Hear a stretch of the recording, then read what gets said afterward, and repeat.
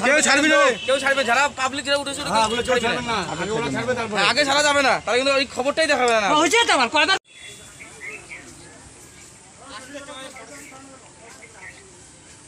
হয়েছে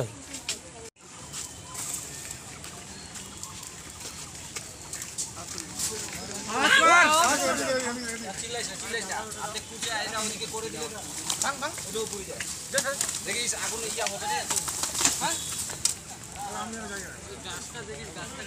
এখানে ঘটনা বলতে এই যে মদের আসন গাজার আসন এখান থেকে অত্যাচার করে পুলিশ প্রশাসনের উপরে হামলা হচ্ছে, বাইরের ছেলেপেলে এসে হামলা করছে।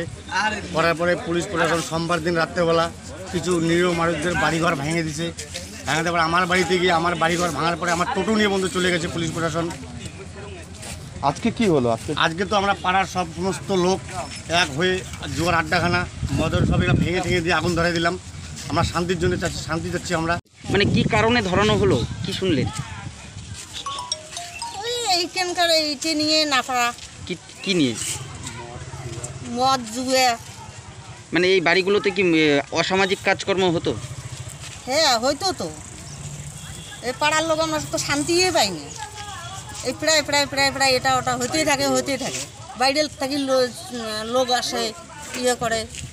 তা আমরা চাই বলে কি আমার পাড়া শান্তি থাকে। তার জন্য এদিকে ছেলেগুলো সবাই গুলো মিলিয়ে এটা ভাঙিয়ে দিয়ে পোড়া দিল।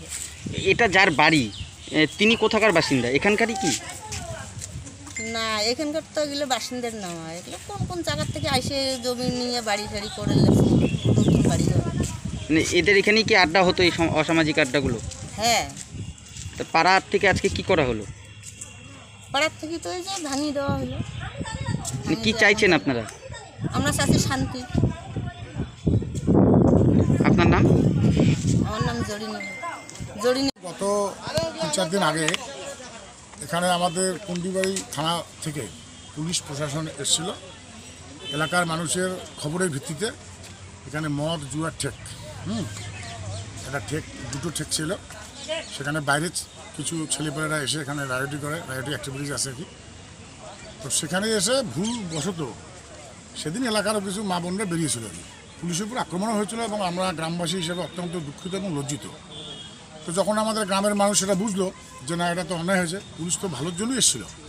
সেই কারণে এখানে যে মদের বা জুয়ার যে ঠেকটা, কে বা কারা এসে এটা করছে, সেই কারণে মানুষ পুলিশ প্রশাসনকে সহযোগিতা করার জন্য এবং এলাকায় শান্তি শৃঙ্খলা রক্ষা করবার জন্য মানুষ আজকে শতপ্রণোদিতভাবে সমস্ত স্তরের মানুষ ঐক্যবদ্ধভাবে এটাকে ভেঙে তছনছ করে দিল এবং সিদ্ধান্ত হয়েছে, অদূর ভবিষ্যতে এখানে কোনো অসামাজিক অসামাজিক কোনো কাজকর্ম হলে তার বিরুদ্ধে এলাকার যুব সমাজ এবং সিনিয়র জুনিয়র মায়েরা যারা আছে সম্মিলিতভাবে প্রতিরোধ গড়ে তুলবে। এটা এখানে মূলত কারা আড্ডা মারতো?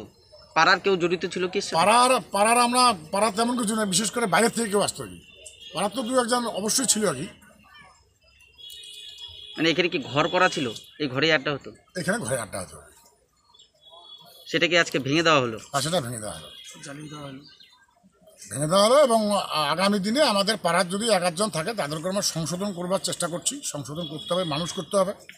এবং বাইরের থেকে যারা আসে, তাদেরকে আমরা বলে দেব যে, বিভিন্ন সোর্সে যে, ভাই, তোমরা এখানে কেউ আসবে না। কারণ সাধারণ লোক বসবাস করে, দিন আনে দিন খায়।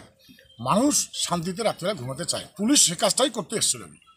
এবং আমরা পুলিশকে সহযোগিতা আগেও করেছিলাম, এখনও করব, আগামী দিনেও করব।